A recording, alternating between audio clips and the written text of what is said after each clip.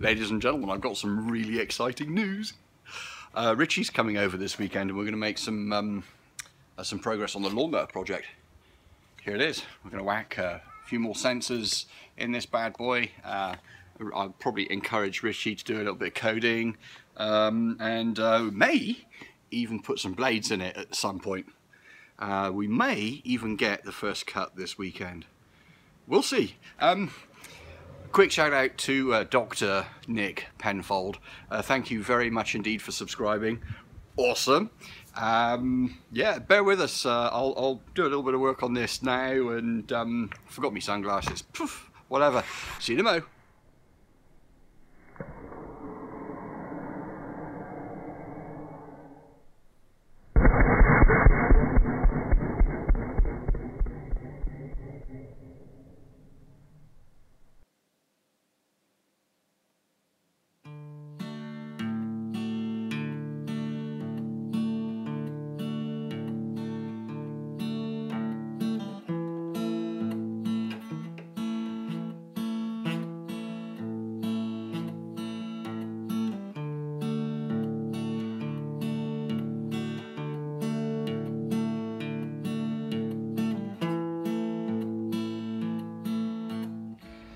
Alright ladies and gentlemen, we have a few ultrasonic sensors added to this system now. So we've got one right here, uh, we have the original in the middle uh, that we found that just didn't do enough.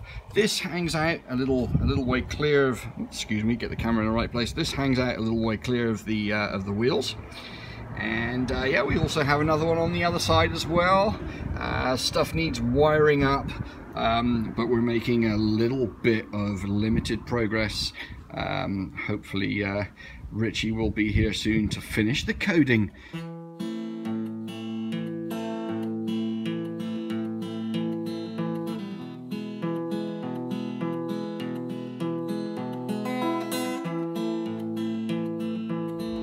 Alright, we're working on getting the ultrasonic bat ears on here. The whole device is turned upside down at the moment, so you can see the caster wheel at the back there, and you know, bits and bobs, and no actual blades to speak of yet.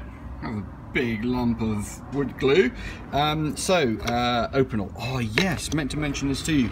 The Opinel, an absolutely fabulous piece of kit um, uh, French fishing knives, uh, if you drop them in the water, uh, even though they've uh, got very hard steel blades on them, the uh, the wood keeps them afloat, so you can uh, you can grab a hold of them and fish them out, so to speak. Um, anyway, so we're working on just gluing in a little bit of reinforcement for the bat ears. As soon as that's done, we'll be good to do more because apparently there's still loads to do.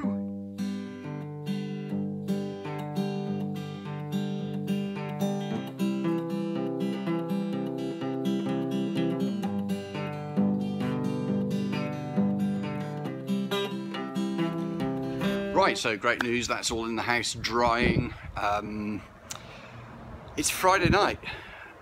Uh, should I be at home making YouTube movies? No. It's time for a trip to a house that serves beer. Public house, maybe? Cool. Bye.